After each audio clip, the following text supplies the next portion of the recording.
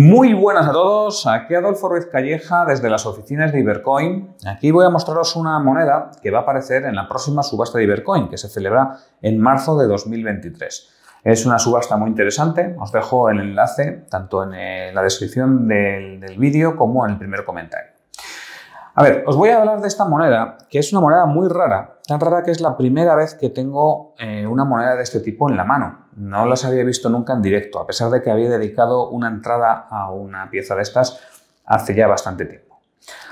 A ver, eh, es una moneda acuñada en Cartagena de Indias. Eh, Cartagena de Indias, en estos momentos del proceso de independencia, crea una junta de gobierno ya en 1810 y el 11 de noviembre de 1811 declara su independencia. Fue la segunda ciudad eh, sudamericana que declaró eh, su independencia de la corona española. La primera fue eh, Caracas, la primera fue Caracas y la segunda fue Cartagena de Indias.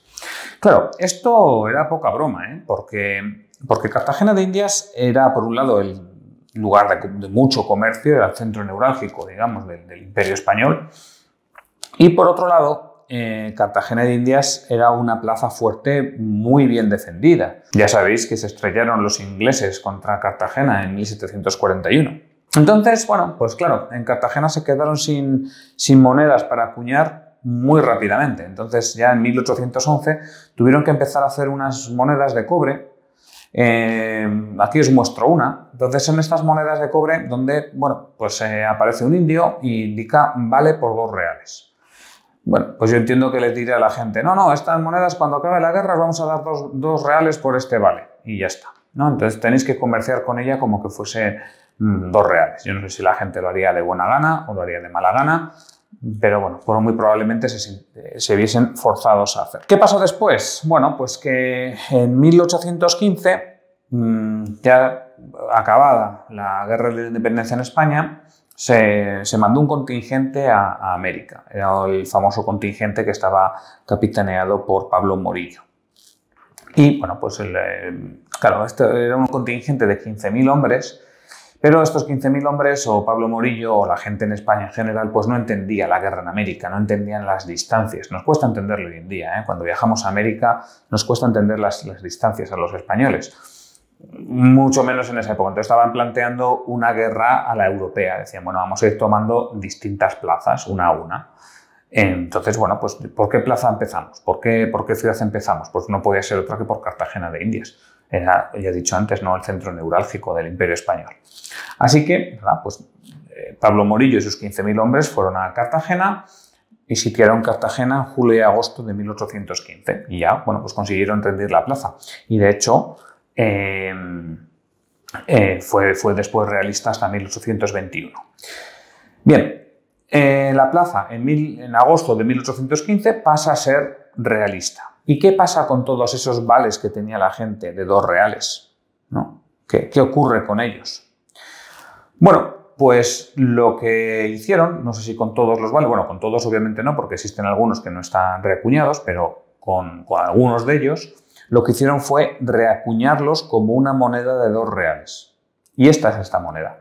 O sea, esto es una moneda acuñada en Cartagena de Indias por los insurgentes y luego reacuñada por los realistas, con la forma de, estos dos reales de Lima, digamos. Están imitando a unos dos reales limeños, como podéis ver. Y diréis, bueno, pero ¿y por qué utilizaron este tipo de, monedas que parece una moneda macuquina? Bueno, pues porque por un lado era lo que circulaba en América, eran los diseños a los que estaban acostumbrados la gente. Y por otro lado ya había habido más plazas, más, más ciudades que habían imitado eh, estas monedas de dos reales de Lima mm, con menos cantidad de plata. Lo que pasa es que aquí no hay ningún tipo de cantidad de plata para nada, esto es simplemente cobre. Algunas ciudades como por ejemplo León o Tegucigalpa o Caracas o Tucumán pues habían imitado esas monedas limeñas. Entonces, bueno, pues esto es muy curioso porque al final es una moneda mm, realista, acuñada utilizando como cospel una moneda independentista y imitando tipos de independentistas que a su vez imitaban tipos realistas. Entonces esto es una mezcla estrepitosa. Bueno, eh, hay que decir que estas monedas son todas ellas muy raras, son, son, son, todas ellas interesantes para los coleccionistas por lo raras que son. Mm, aquí apenas se puede apreciar la moneda original, o sea, la moneda esa del indio que os decía antes. Sí que por aquí, por esa zona, sí que se puede apreciar algo el dibujo, pero no se ve la fecha. Mm, claro, valen más cuando tienen, cuando tienen la fecha visible, o sea, la fecha de la moneda original. También es verdad que la inmensa mayoría de las que se ven la fecha eh, son monedas del año 1814. O sea, esas monedas del indio se acuñaron desde el 11 hasta el 14. Es normal que las que acuñasen o que las que reacuñasen fuesen fundamentalmente las del 14, porque serían las que tendrían todavía en Cartagena, digo yo. Bien, y luego aquí hay varias variantes. Em, y las variantes suelen estar en la fecha que indica aquí la moneda, o sea, la, moneda recuñada. Veis que aparece el 2, aquí aparece el Plus Ultra y aquí aparece un 800, 800. Bueno, hay otras fechas, hay un, creo que un 400, un 808, un 000.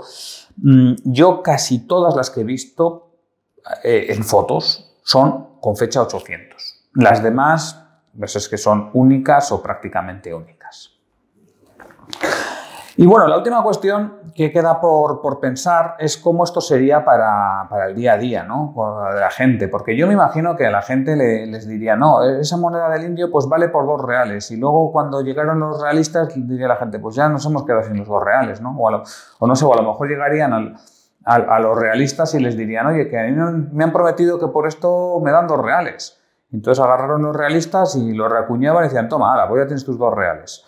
No, entonces, bueno, yo no, sé muy bien qué pensaría la gente cuando tenía o se vería forzada a, aceptar esto, ¿no? Porque claro, cuando tienes un ejército en la ciudad, pues te pueden forzar a muchas cosas, entre otras a, utilizar unas monedas que, un dinero que no es tal. Y la pregunta es, ¿esta moneda circulaba por dos reales? Bueno, pues parece ser que no.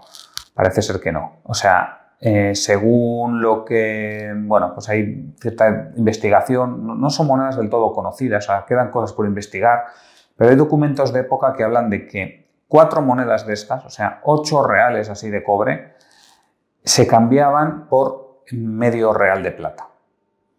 O sea que, que al que le hubiesen forzado a aceptar esto como dos reales le hicieron un flaco favor, porque luego valía pues no sé, como 16 veces menos de lo que le habían dado. Bueno, pues espero que os haya gustado esta moneda. Como digo, es muy, muy rara. Yo nunca la había tenido en la mano. Y espero que os haya gustado esta historia si no la conocíais. Así que nada, yo desde Ibercoin me despido. Un saludo y hasta pronto.